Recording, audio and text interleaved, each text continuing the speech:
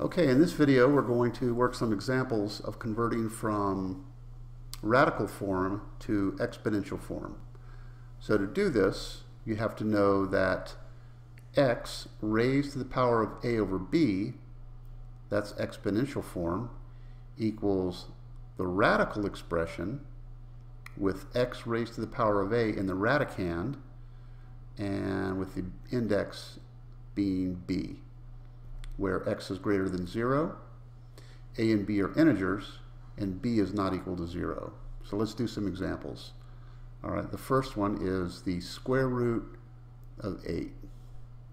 The first thing we want to do is factor the number 8 in terms of its, of its prime factors. So that would be 2 cubed, square root of 2 cubed, which equals 2 raised to the power of 3 over 2.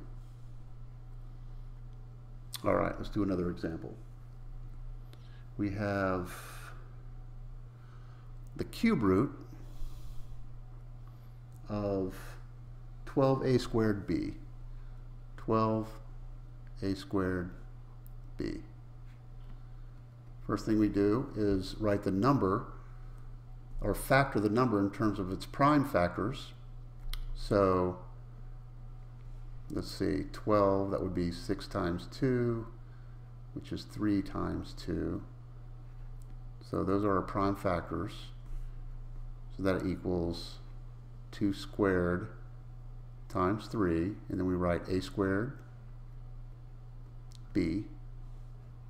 Of course, it's the cube root of all of that. So now we write 2 raised to the power of 2 over 3 times 3 raised to the power of 1 over 3 times a raised to the power of 2 over 3 times b raised to the power of 1 over 3.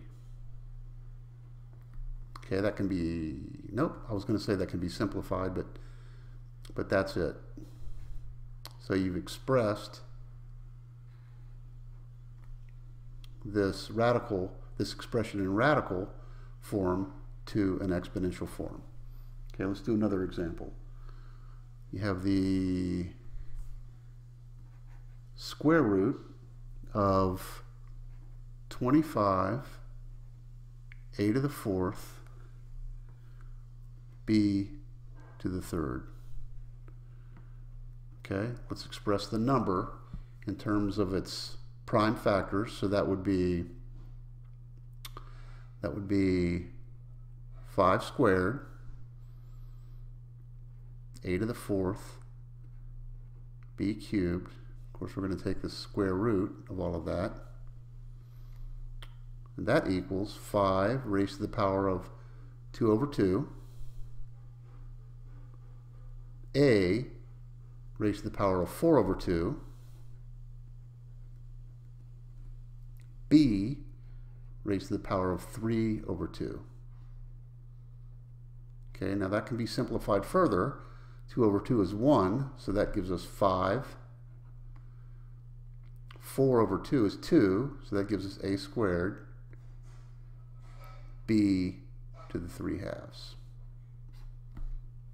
Let's do one more example about the square root of 125 a cubed b squared a cubed b squared with the square root of all of that.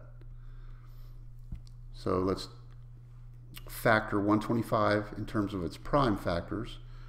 That would be 5 cubed times a cubed times b squared. a cubed, b squared, square root of all of that. So that's going to give us 5 raised to the power of 3 over 2.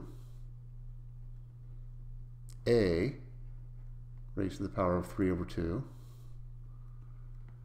And b raised to the power of 2 over 2, which equals a to the 3 halves, or I'm sorry, it equals 5 to the 3 halves times a to the 3 halves times b, because 2 over 2 is 1. And that's it. I hope that helps.